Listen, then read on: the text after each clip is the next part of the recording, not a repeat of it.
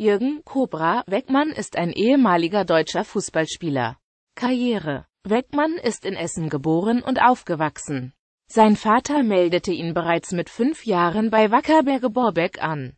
Er durchlief ab der C-Jugend die Jugendmannschaften bei Rot-Weiß Essen und erhielt bei seinem Stadtverein auch einen Lizenzspielervertrag.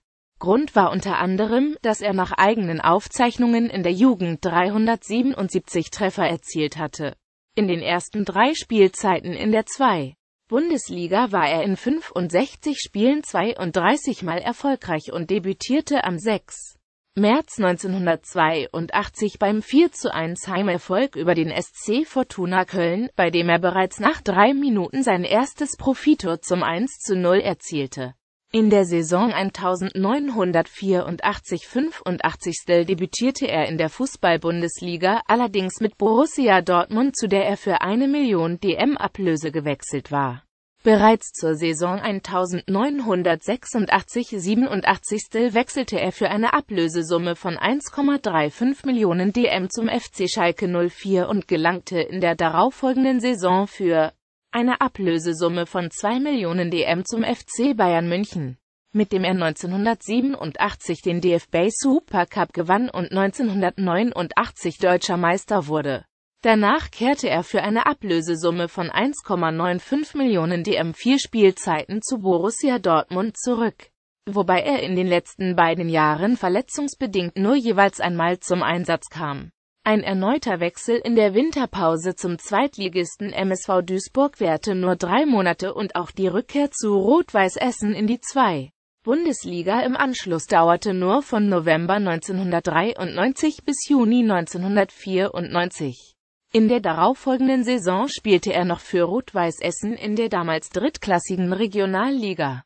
1995 wurde Weckmann für die symbolische Ablösesumme von einer DM vom Zweitligisten 1. FSV Mainz 05 verpflichtet, der ihn jedoch nur in einem einzigen Testspiel einsetzen konnte. Eine weitere schwere Verletzung in jenem Spiel sorgte für die Vertragsauflösung und Weckmanns Karriereende. In 203 Bundesligaspielen erzielte Weckmann 69 und in 77 Zweitligaspielen 34 Tore.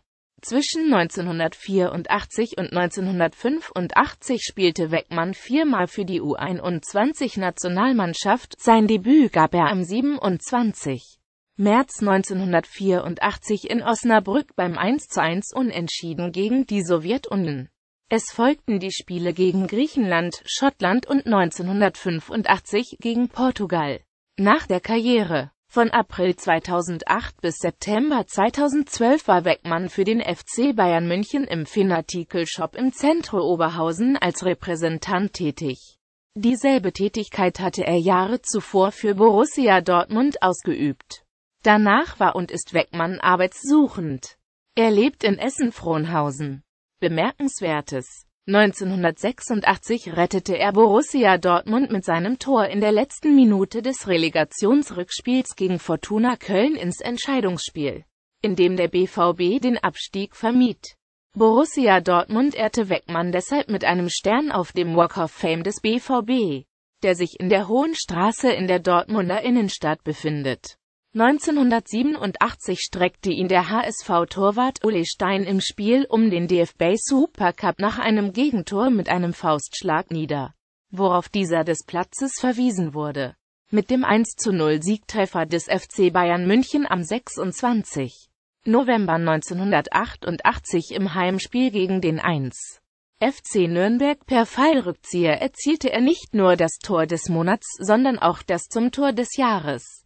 Nachdem er in einem Interview behauptet hatte, er sei giftiger als die giftigste Schlange, erhielt er den Beinamen Cobra. Von ihm stammt auch die Äußerung. Die Tatort-Episode Wer bin ich? Vom 27. Dezember 2015 spielt auf den ehemaligen Stürmer an, in dem der Tatverdächtige und schlussendliche Täter Weckmann sich selbst als Casino Cobra bezeichnet.